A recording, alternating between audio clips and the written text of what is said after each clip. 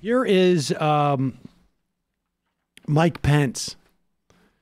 He's um, in Ireland. I, I'm not sure what the agenda is there.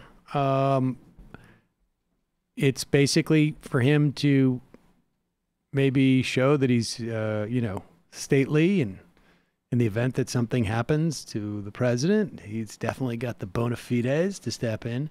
Um, he is staying at a Trump resort while he's there, of course. Oh, is he? I didn't know. Oh, gosh. And now, look, do I know if uh, Trump wants that million dollars, probably a couple million dollars that gets paid to that resort for all the people staying there and take over? Maybe it's, I don't know, five, ten million dollars. Who knows how much it is? Two? I don't know. Um, Donald Trump, uh, it's reported that his Doral golf club is doing horribly because Donald Trump is odious and it's hard for people to ignore that. And so they stay away from his places unless they want something from our government, which is, a, you know, I hope people understand that that's a problematic dynamic.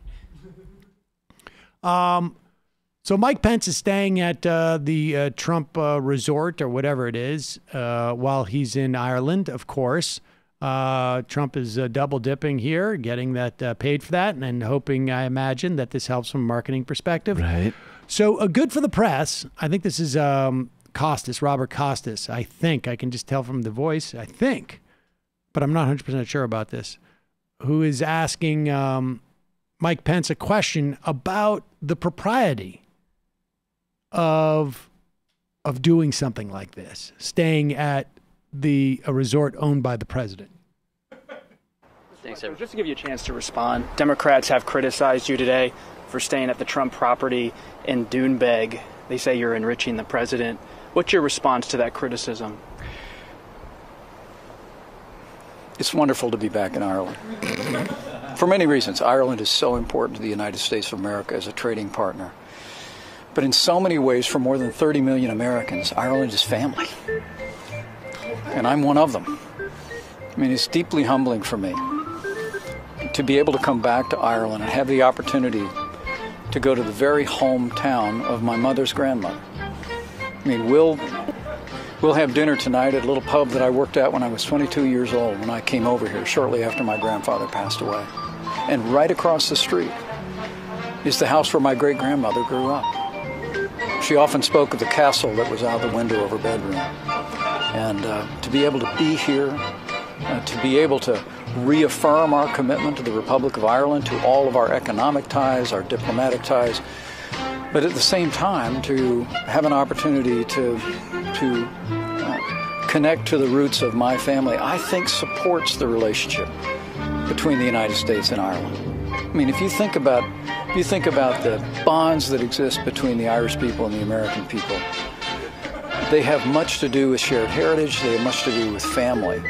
And that's why it was important for me, before our original trip plan, uh, to at least spend one night in Doonbeg. And, I, and uh, I, understand political attacks by Democrats, but um, um, if you have a chance to get to Doonbeg, you'll find it's a fairly small place. Uh, and uh, the opportunity to stay at Trump National in Doonbeg to accommodate the unique footprint uh, that comes with our security detail and other personnel uh, made it logical. We checked it with the State Yep. Department. Uh, they Total approved us staying there. Logic. And I was, uh, I was pleased to have the opportunity to return to that family All right, Mike, shut up. Nobody and to be able to stay there, uh, and um, and not just on a personal level, but also to do it do it in a way that uh, uh, helps me celebrate with the people of Ireland. Yeah, a lot of gay guys who ate so potatoes. That's your family. No one Americans cares. Feel to the Emerald Isle. Thank you, Thanks, everyone. Okay. Wow! That music hit it perfectly. wow. Um, you know, like how, like like he paused at first, and then he just went into that, and then you could almost see behind his eyes, like, I can't believe I figured this out. I can't believe I'm going to get away with this. And um, Mike Pence, I mean, yes, he he may be a little bit dim. um, he may be an incompetent executive based upon his uh, time as governor, where he was really loathed by 60% of the population, I think, in that I- state. It sounded like his political career was coming to an end. His at least in like political Jim career was- like yeah. uh, And, um, but this guy can lie. Like, you know, like I would put him up with any type of pathological liar. Um, That's the thing about Mike. He's but but. I will say, and the only thing that is credit making him a pathological liar, I think, is just that um, he has a real concerted purpose when he lies.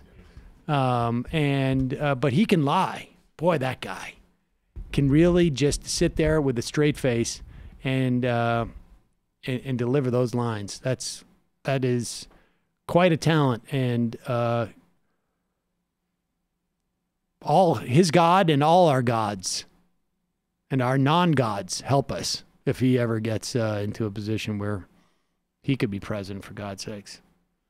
Um, What's he gonna do? Stay in Limerick? there you go. I wanted to go there for one night.